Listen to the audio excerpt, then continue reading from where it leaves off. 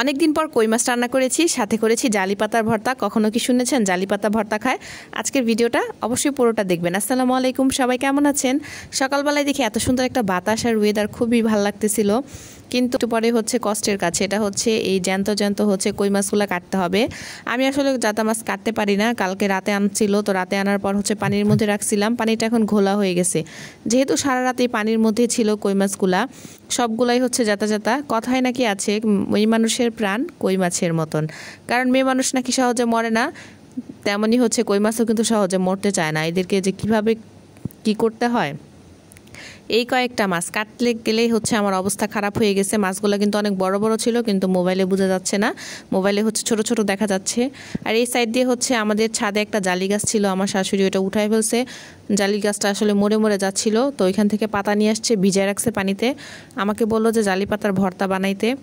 এর আগে একদিন বানাইছিলাম, খুব বেশি একটা খারাপ লাগে নাই, তো আজকে হচ্ছে অনেকগুলোই বানাবো। আর এই সাইড দিয়ে আদা, রসুন আনা হয়েছিল, টুকটাক বাজার করা হয়েছিল, তো আজকে কাজটা একটু বেশি। এখন রান্না করব তাজা মাছ, এই ফাঁকে কিন্তু আমি মাছ কেটে একদম ধুয়ে পরিষ্কার করে রাখছি, ওইটুকু ভিডিও আর হচ্ছে আমি আপনাদের সাথে শেয়ার করি নাই। কাটতে তো আমার অনেক কষ্ট হয়েছে তাজা মাছ, হাতের মধ্যে এসে হচ্ছে কয়েকবার হচ্ছে ঘাই দিয়ে দিচ্ছে কত জায়গায় যে হচ্ছে খাইছি ঘাই ঠিক নেই। এর আগে সবসময় আমার শাশুড়ি হচ্ছে তাজা মাছটা কাটতো, এখন আমি কাটলাম, আসলে শিখে রাখতেছি, ভবিষ্যতে তো আমারও সব কিছু হচ্ছে শিখে রাখতে হবে, কাজে লাগতে হবে, তাই না? সব কিছুর অভিজ্ঞতাই কিন্তু থাকতে হবে। এক সাইড দিয়ে শাকগুলো হচ্ছে একটু লবণ দিয়ে হচ্ছে আমি ভাপ দিয়ে নিব, আর এই সাইডে আদা রসুনগুলো হচ্ছে ব্লেন্ডার করে নিচ্ছি। বাটি তো রাখতে পারতাম, কিন্তু হচ্ছে এটার মধ্যে আমি আগে রাখছি আদা রসুন, তাই এটার মধ্যে আদা রসুনগুলো ভরে রাখছি, আর এখানে কিছু জিরা গুঁড়ি করে নিচ্ছি।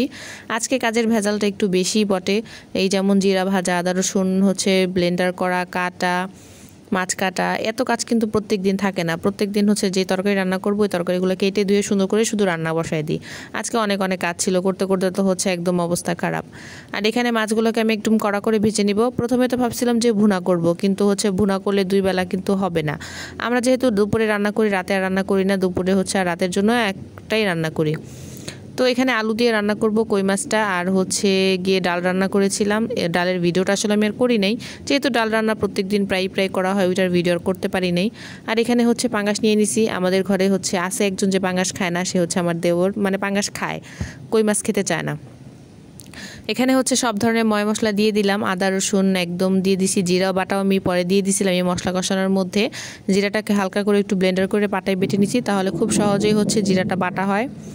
সব মশলা একসাথে ভালো করে কষানোর পর হচ্ছে দিয়ে দিলাম আলু। আর একটা বরবটি আমাদের ছাদের কাছে ছিল, ওই একটা বরবটি আমি দিয়ে দিছি। এখন এটা ভালো করে কষাইতে দিয়ে দিলাম। এই ফাঁকে কিন্তু হচ্ছে আমার আরও কিছু কাজ থাকে, ভাত বসানো, রাইস কুকারে, ওগুলো করে নিছি।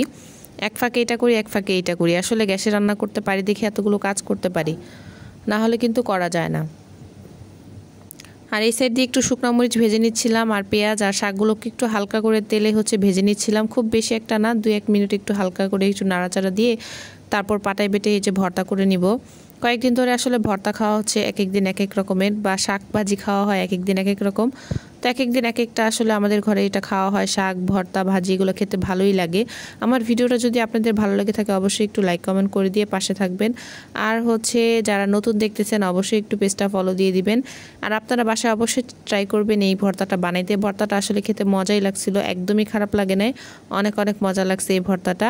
ভালো লাগলে ভিডিওটা শেয়ার করে দিবেন আর রেসিপিটা ফলো করে বাসায় বানিয়ে খাবেন, দেখবেন খুবই ভালো লাগবে। আজকের মতো এটুকুই, সবাই ভালো থাকবেন।